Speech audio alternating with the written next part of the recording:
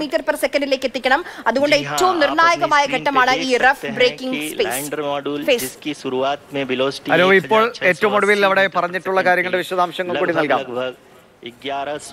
ഇതൊരു നീണ്ട ഫേസ് ആണ് നീണ്ട ഘട്ടമാണ്. പതിനൊന്ന് മിനിറ്റിന് മുകളിൽ മുകളിൽ സമയമെടുക്കുന്നത്.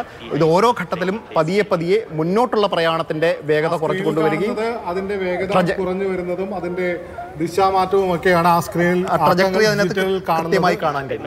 ട്രജക്ടറി കൃത്യമായി കാണാൻ കഴിയും. സ്ക്രീനിൽ ഐ എസ് ആർഒയുടെ പി സി ആറിൽ വച്ചിരിക്കുന്ന ആ ട്രജക്ടറി കൃത്യമായി കാണാൻ കഴിയും. അതിലെ വേഗമാറ്റം അറിയാൻ കഴിയും. ഇങ്ങനെ പതിയെ കുറഞ്ഞു കൊണ്ടുവന്നിട്ട് ഏതാണ്ട് മുന്നൂറ്റി അഞ്ഞൂറ്റി ഇരുപത്തിയഞ്ച് കിലോമീറ്റർ പെർ അവർ മുന്നോട്ട് പോവുകയും അതേപോലെ ഇരുന്നൂറ്റി ഇരുപത്തി മൂന്ന് കിലോമീറ്റർ പെർ അവറിൽ താഴേക്ക് പോവുകയും ചെയ്യുന്ന വേഗത്തിൽ എത്തിക്കഴിഞ്ഞിട്ടാണ് രണ്ടാം ഫേസ് തുടങ്ങുക.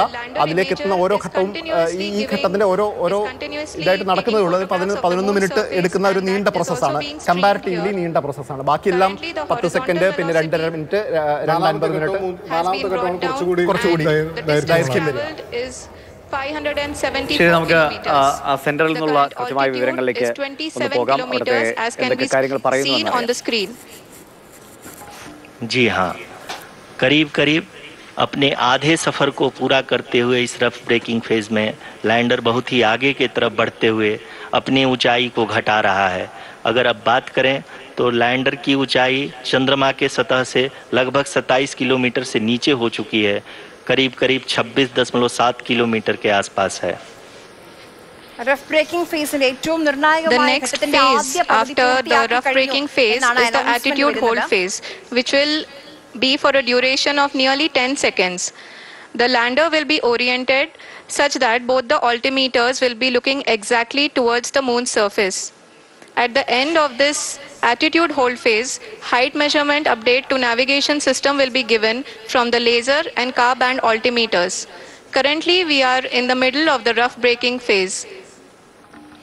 ആദ്യത്തെ ആദ്യത്തെ ഘട്ടത്തിന്റെ ആദ്യത്തെ ഘട്ടം അതായത് റഫ് ബ്രേക്കിംഗ് ഫേസിന്റെ അത് പകുതിയോളം പൂർത്തിയാക്കി കഴിഞ്ഞു. അത് കഴിഞ്ഞ് രണ്ടാമത്തെ ഘട്ടത്തിലേക്ക് കടക്കും.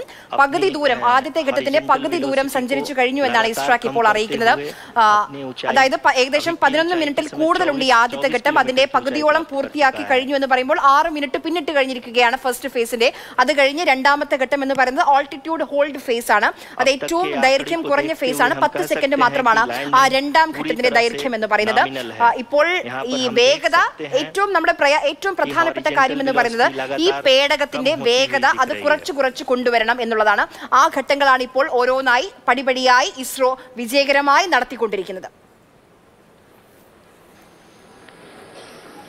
The altitude of lander from ground is currently 12 km, is currently 22 km, which is again going to be coming down and that, and that is expected. Anoop. For the viewers who have joined now, uh, we are in uh, we are in the power descent phase and we are in the rough braking phase which is the first phase of the power descent. Uh, we have currently traveled a downrange of 697 kilometers and uh, the, dra- the downrange that has to be traveled during this phase is 713.5 kilometers കരുതുന്ന ദൂരം എഴുന്നൂറ്റി പതിമൂന്ന് जी kilometre हाँ first अभी face आप देख सकते हैं റഫ് ബ്രേക്കിംഗ് ഫേസിലെ എഴുന്നൂറ്റി പതിമൂന്ന് കിലോമീറ്റർ ആണ് സഞ്ചരിക്കുന്ന ദൂരം ആ, ഇപ്പോൾ അറുന്നൂറ്റി തൊണ്ണൂറ്റിയേഴ് ഏകദേശം അതിന്റെ തൊണ്ണൂറ് ശതമാനത്തിലേക്ക് അടുത്ത് കഴിഞ്ഞു അത് മാത്രമല്ല പന്ത്രണ്ട് കിലോമീറ്റർ ആ, ഉയരത്തിൽ ഇപ്പോൾ പറഞ്ഞതനുസരിച്ച് പന്ത്രണ്ട് കിലോമീറ്റർ ഉയരത്തിൽ പേടകം എത്തിയിട്ടുണ്ട് ചന്ദ്രനിൽ നിന്ന് ഏഴ് പോയിന്റ് നാല് കിലോമീറ്റർ ഉയരത്തിൽ എത്തുമ്പോൾ രണ്ടാം ഫേസ് തുടങ്ങും ആ രണ്ടാം അതായത് വളരെ വളരെ അടുത്തിരിക്കുന്നു അല്ലെ അനൂപ് ഇനി ഇനി വളരെ ഏറ്റവും ഏറ്റവും നിർണായകമായ നിമിഷങ്ങളിലേക്ക് കടന്നു നിൽക്കുന്നു ദൗത്യം അല്ലെ? Which is going to be around 7.4 at the end of the rough breaking phase. Yes. Rough breaking ഫേസിന്റെ അവസാന km agalathil ഏഴ് jayenge കിലോമീറ്റർ അകലത്തിൽ attitude hold phase. where we will be expecting sensor update from the laser and car band altimeters. ഉടനെ തന്നെ രണ്ടാം ഘട്ടമായ We can see the visualization of the lander module. അറിയിക്കുന്നത് Moving towards the moon's surface. The current altitude is nearly 15.2 kilometers and the distance traveled is 754 kilometers. We can also see the image that the lander imager camera has been providing. നമ്മുടെ Vikram lander എടുത്ത ദൃശ്യങ്ങൾ കൂടി നമ്മുടെ സ്ക്രീനിൽ കാണാൻ കഴിയുന്നുണ്ട്. Vikram lander എടുത്ത ദൃശ്യങ്ങൾ കൂടി നമുക്ക് ഇസ്രാക്ക് ആ സ്ക്രീനിൽ എത്തിക്കുന്നുണ്ട്. വളരെ വിജയകരമായ ആദ്യഘട്ടം പൂർത്തിയാക്കി കഴിഞ്ഞു എന്ന് വേണം മനസ്സിലാക്കാൻ. കാരണം ആദ്യഘട്ടം എഴുന്നൂറ്റി പതിമൂന്ന് കിലോമീറ്റർ ആയിരുന്നു. അതിൽ കൂടുതൽ ഏകദേശം എഴുന്നൂറ്റി അറുപത് കിലോമീറ്റർ നമ്മുടെ വിക്രം ലാൻഡർ സഞ്ചരിച്ചു കഴിഞ്ഞു. രണ്ടാം ഘട്ടത്തിലേക്ക് വിക്രം ലാൻഡർ കടന്നിട്ടുണ്ട്.